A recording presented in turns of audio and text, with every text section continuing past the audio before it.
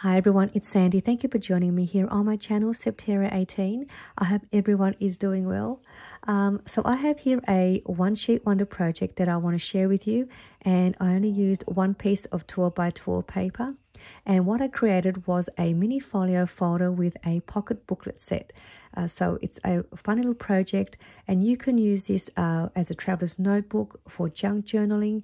You could also store photos inside the pockets that's inside the folder you could also give this as a Happy Mail gift and add some goodies as well. Um, so I've decided to do a two-part video. Uh, this will be part one, and I'm going to show you a, a, a detailed look of the mini folio folder that I've made, as well as a tutorial to create the folder. Uh, part two will be the tutorial and the measurements to show you how you to make the little mini pocket booklet that's inside this uh, folio. I've also put a fun kit together as well so you can make the same uh, folio folder and I will um, show you the kit in, in my part two video and what's included in the kit if you are interested in purchasing the kit from my Etsy shop. Now with the kit, um, I'm only going to have six uh, kits available in my shop. Um, again, uh, they do sell really quick, so um, hopefully you get a chance to uh, purchase one if you um, decide to buy one of my kits. But let me show you the mini folio folder and then we'll do the tutorial. Um, again, it's not um, a large size, it, but it's still um, a perfect size to store uh, lots of things in here. So you can see that's the side. And then I've used some tool to use as a closure so everything can stay inside the uh, folder and I also just added uh, some a little tassel dangle with a bead. I didn't untie this properly. There we go. Um, so this is how it looks like. And this is a cute little tassel that I've um, just added just to decorate it and just to make it more pretty. And then I did some simple embellishing to the front. I fussy cut this uh, flower image and then punched out this heart. And then I also added some tulle to the back and this is like a mesh, mesh uh, shape heart die that I have. I also added um, a piece of a piece of doily to the back just to add some more texture. And I did use a, a paper collection by Kaisercraft. I can't remember the paper collection, but I will put the um, paper collection down below. And when you open it up, it opens up like that. And then over here, I have created a little tuck spot for a little card or a note card and just goes in the back there. I fussy cut this butterfly as well and just place it on the front. And this uh, doily here is the dolly that was part of this one here. So I just cut a little piece to attach here and then the other piece I place it onto the back of the cover here just to, uh, again, just to decorate the paper a little bit more. And then over here is the um, pocket with a closure. And I've just got some lovely crochet string to use as the closure. And then you open that up and inside this pocket is the mini pocket booklet that coordinates with the folder. Just another simple little way to um, add some more goodies inside. And inside here in the front is um, a couple of tags that I've just hand cut. And this is uh, these two pieces of paper that I made into tags were actually uh, the pieces that were cut out from the folder. So I didn't want to waste anything. So I decided to just create some a couple of tags out of the pieces that were cut out to create the folder and that just goes in there. I've also made another little side pocket in here as well just to tuck some little ephemera if you wanted to do that. So that fits in there and then at the back here is another top loading pocket with a tag shaped booklet that I've made. And then I've just placed some tea dye stained paper and some baking paper. Just another little spot for some notes or a bit of journaling or if you wanted to write some quotes.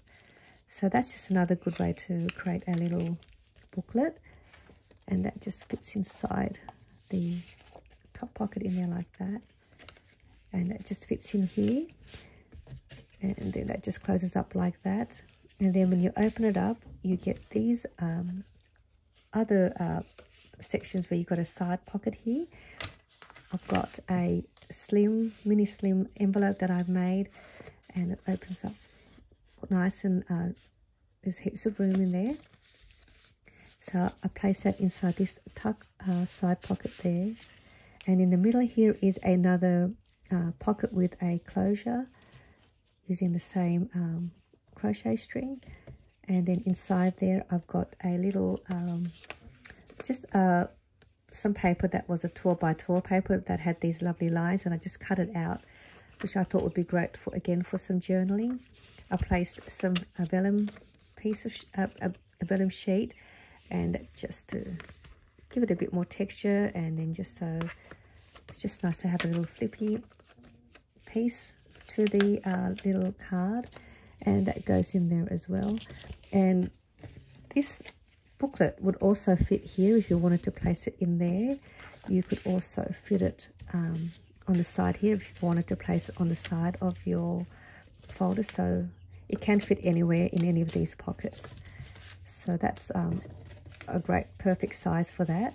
So let me show you how to make the mini folder and then the part two will be the measurements and how I put together the little folder as well as this little booklet. And I will show you the kit as well. So let me just put these to the side. So you'll need your tour by tour paper to um, start off. I'm just going to grab um, a paper that's just single-sided for the tutorial and uh, uh, just a little tip as well if you get a bit hesitant sometimes it's best to start off with a scrap piece of 12 by 12 paper first to get um, just to get you um, so you don't make any mistakes using your good paper first sometimes you can make a mistake using your good paper and then you end up um, not being able to use it. All right, so what we're going to do is we're going to make one cut. So you're going to line your 12 by 12 paper at the 8 and a quarter inch mark. So it's going to place it at the one and a quarter inch. So it's eight and a quarter inches. And then we're going to cut that out. So then you're going to have this piece here. We'll put that to the side and that's for your pocket booklet but uh, I will do that tutorial in the part two video. I'm just going to grab my scoreboard.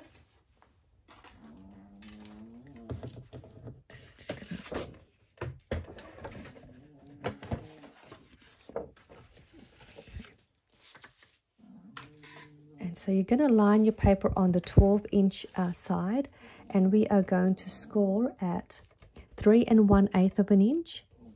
And that's the little mark after the three inch mark. Seven inches 10 and 3 quarter of an inch. Uh, I'll just repeat that. So it's 3 and 1 eighth of an inch 7 inches and 10 and 3 quarter of an inch. And then we're going to turn the paper around to the 8 and a quarter inch mark. And we are going to score at one and a half inches all the way down and six and a half inches.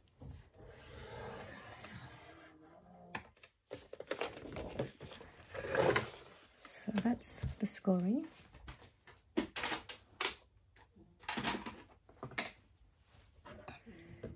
and now what we're going to do here um, you're going to this part here and this one, we're going to remove these two little panels here.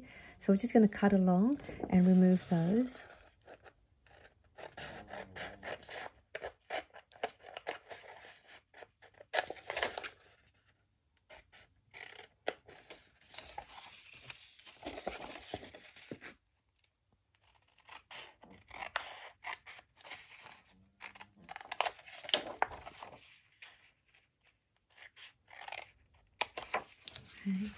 So they're those two little pieces that I had mentioned where I made them into tags. So I'll put them to the side for now.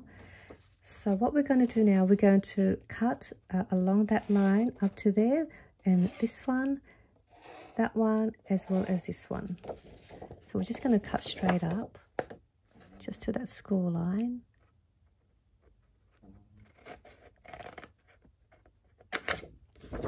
And I'm just also going to remove a little bit of that as well. So you just want to try and just remove a little bit more. Uh, just so easy to fold your folder later.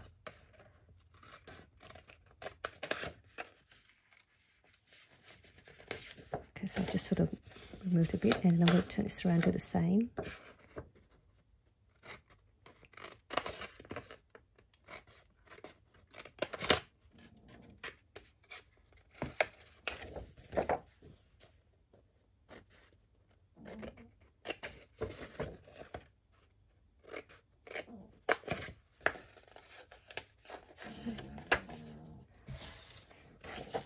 So that is uh, now how you want your paper to look like. And what we're going to do now, we're going to bring this up. We're just going to fold this up first, just for now, so it doesn't get in the way. So just fold that along that fold line.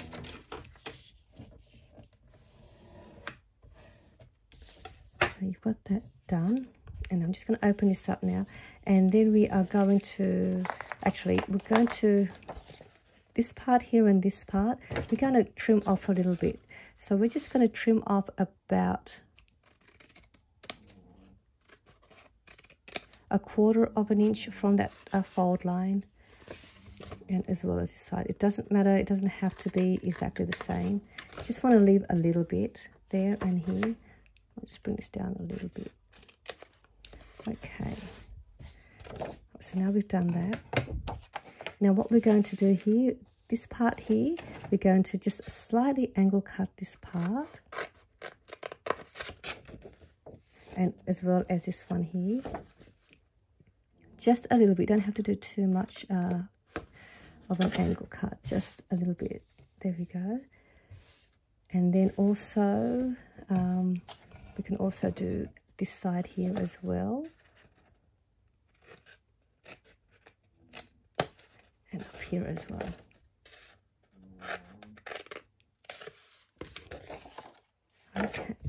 So there we have your paper.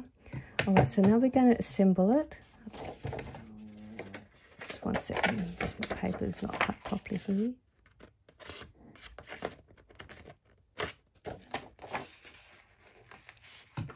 Just turn this back around.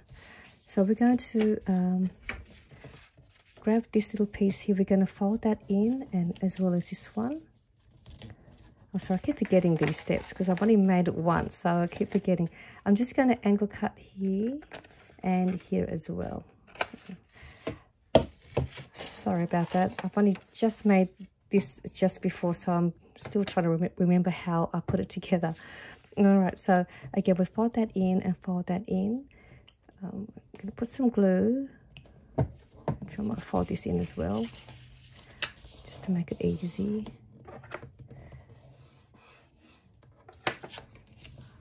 So now we're going to put some glue along these two flaps.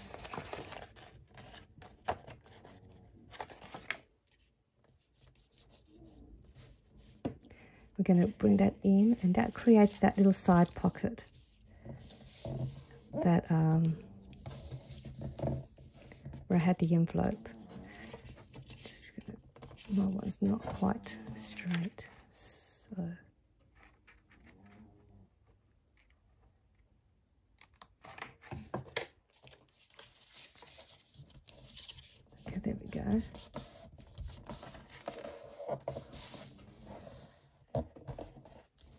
All right, so now I have a, um, a side top pocket. And the reason why I made that fold, just so you have more room if you wanted to add um, something bulkier in there. So it's a little bit of a gusset there. So now you've done that, we're going to move over to the to these sides. We are going to fold this up and also fold this down. And now before we uh, uh, do anything here, I have here, now this is optional, you don't have to do it this way. I have made the, I made these little tabs to be able to close the uh, pocket. And what I've done with that, I just cut out some scrap papers. So I cut out four pieces at two inches by two inches. So I've cut out four, two for this side of the pocket, and then the other two will be for uh, these two. So I just want to cut that at two by two and then just folding them in half. So four um, of these. So I'm just going to quickly fold these in half so I'll have them ready. And then I also made another little piece at uh, one and three quarter of an inch by one and a half inches. And that's for the closure part here that's for this part here. So you could also just get that ready as well. So again, then just folding it in half. So I'm going to put that one to the side for now. And then I'm just going to corner around the little tabs that I've just folded in half. And I corner around them at the fold part.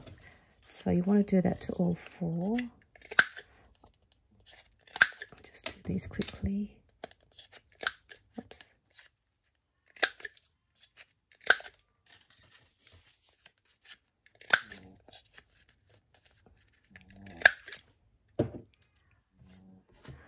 so then what we'll do now, we're going to place one of the tabs here. If you don't want to use a tab, you can just glue this down if you wanted to, and then just have that um, like that.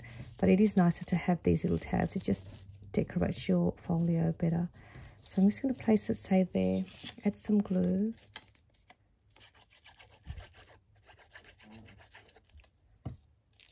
Just try and get it centered as best I can and leave enough room so that you can punch your hole on the top when you slide it down and then I'm going to grab my other one and place it on the top and try and get it um, sort of in line together with the other one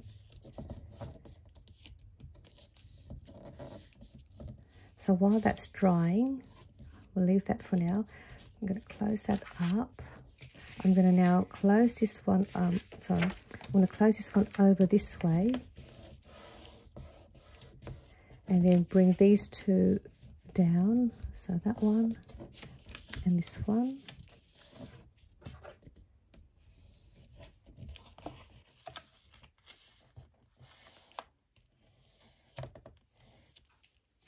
And I'm going to do the same and placing these to the top and bottom.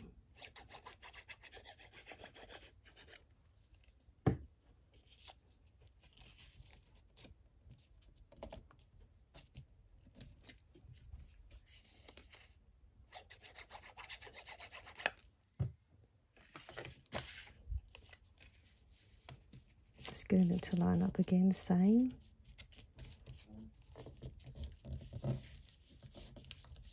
and then this part will then close up like that. So I'm just going to go back in here and with these two I'm just going to punch out a hole top and the bottom. So I'm just going to try and get that centered as best I can.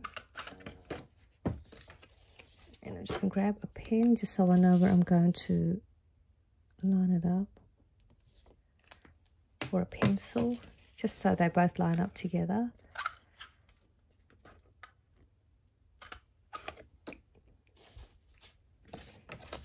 So that should line up there now.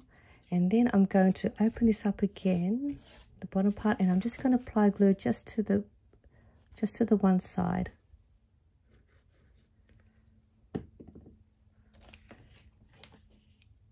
So that will now create the pocket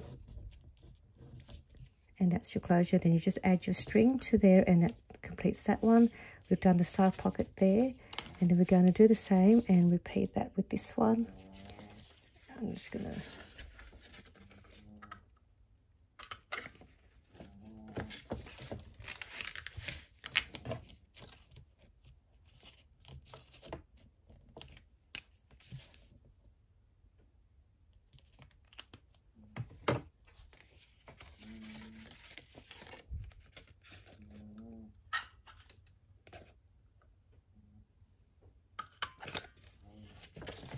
okay so that's done and then I'm just going to also apply glue to this bottom um, bottom fold just along one side.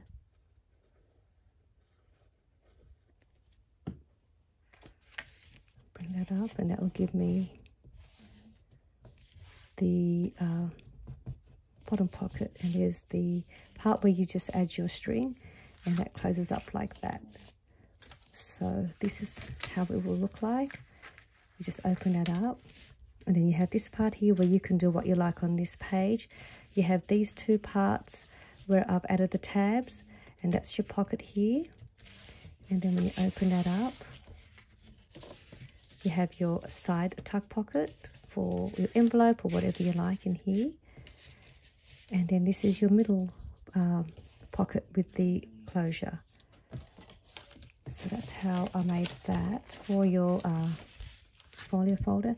And then this little piece here and that can just get placed along there and just exactly the same way just adding some glue.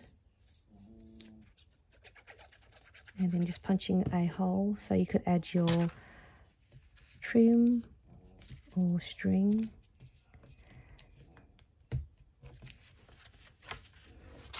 Then once that's um, glued down you can then just punch a center hole middle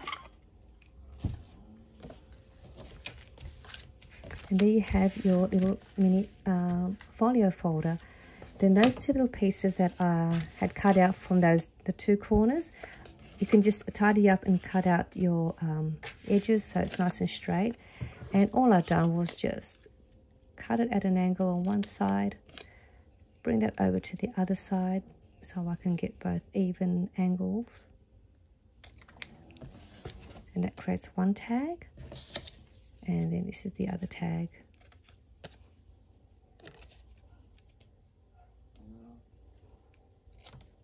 And then I did trim this one down a bit so it's a little bit shorter so they're just a little bit um, so not the same. And then you can place that anywhere you like. So that is the uh, tutorial for the mini folio folder and then I'm going to do part two and show you how to make the cute little uh, mini uh, the pocket booklet. And I'll also do this little uh, booklet as well and also show you the kit that's available that will be available in my shop as well. So i hope you enjoyed this mini folio folder tutorial using one uh, using one sheet of 12 by 12 and i hope i'll see you in my part two video. Bye for now